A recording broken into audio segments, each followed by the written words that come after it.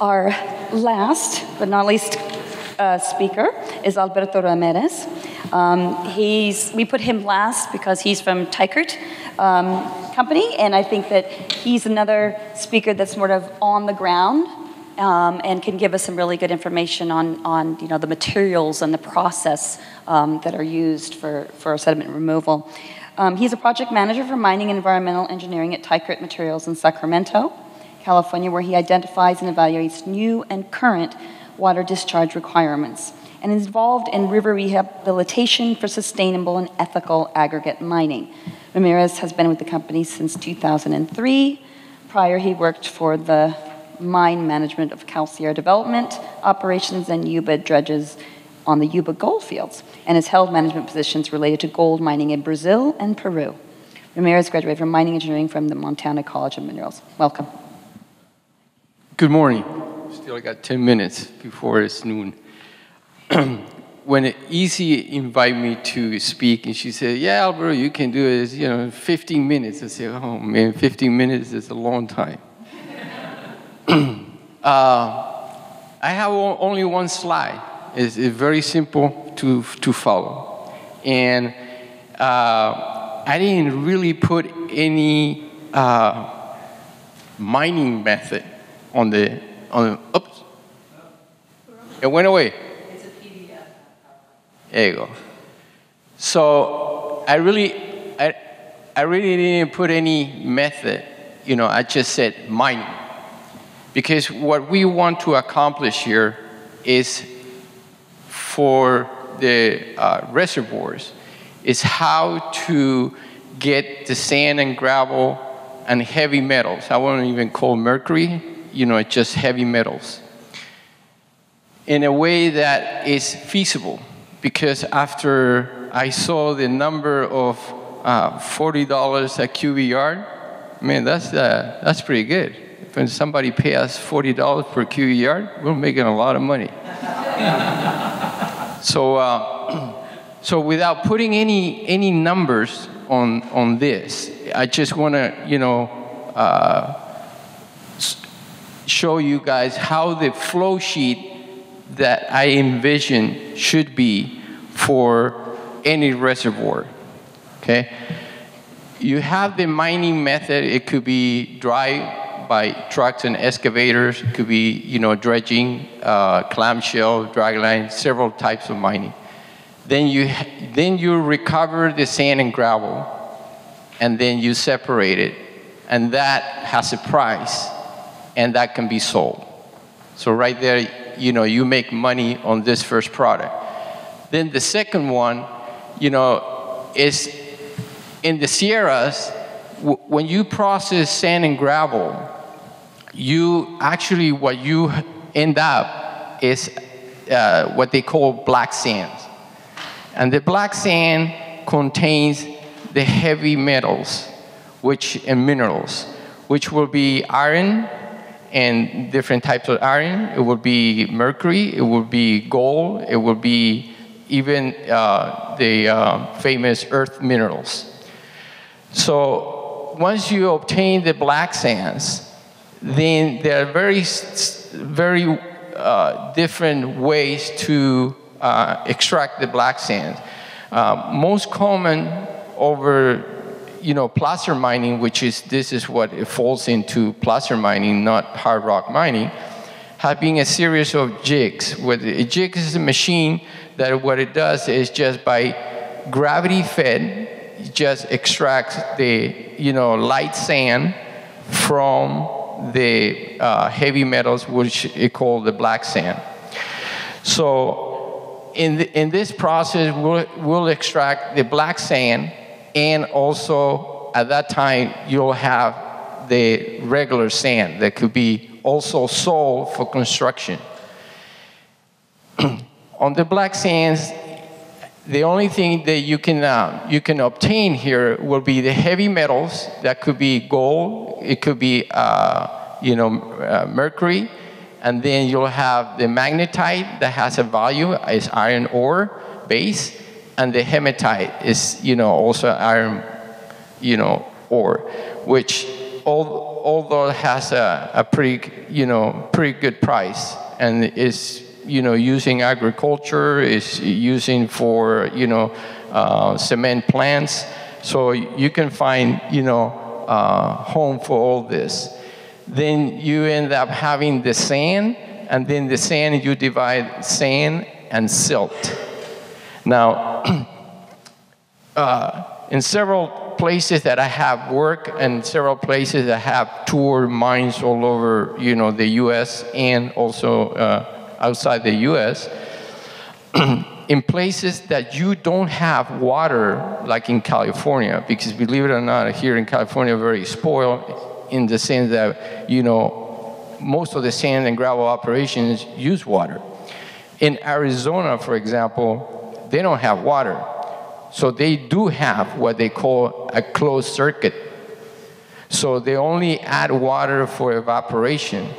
So in, in Arizona, they have uh, water in big uh, containers, and the, the only thing they use is a belt press to extract the silt out of it.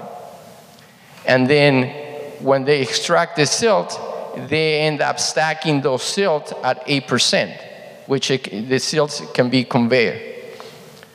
And then if you, you know, in the Sierras, if we analyze what type of silts we end up having, then we certainly can figure out if those silts can go into a landfill or it can be, you know, go back to you know agriculture or figure out what to do. You, you, can go back also to cover the, the land so it doesn't erode in some of the mines.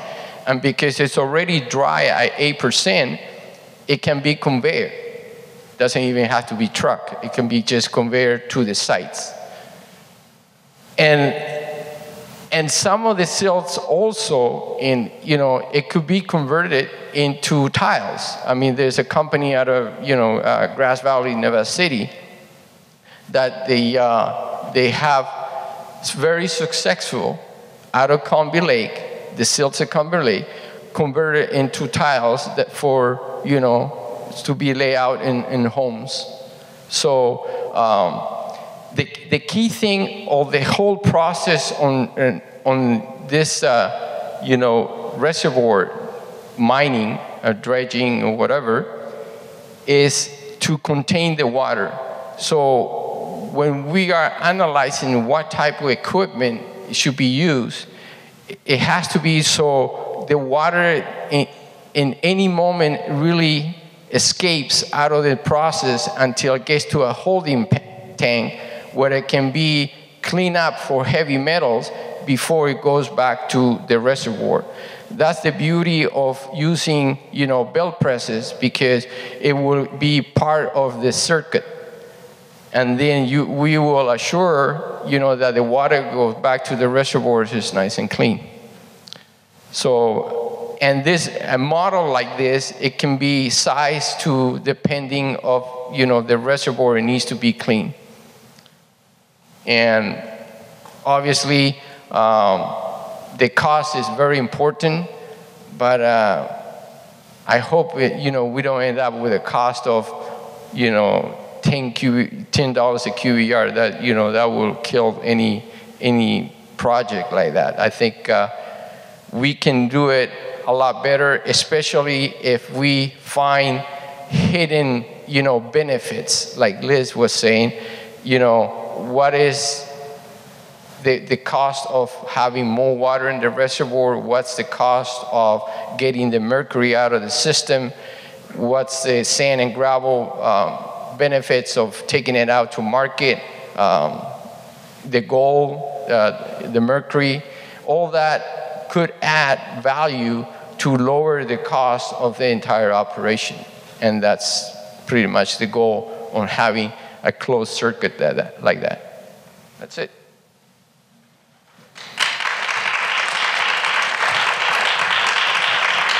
Thank you. Do we have any questions for Alberto? Yes, Toby. And then we'll open it, open it up to the whole panel in a moment. I was just wondering uh, if, on the, the question of cost, what, uh, if you had everything developed, what do you think would be a reasonable ballpark cost? What would be a reasonable cost?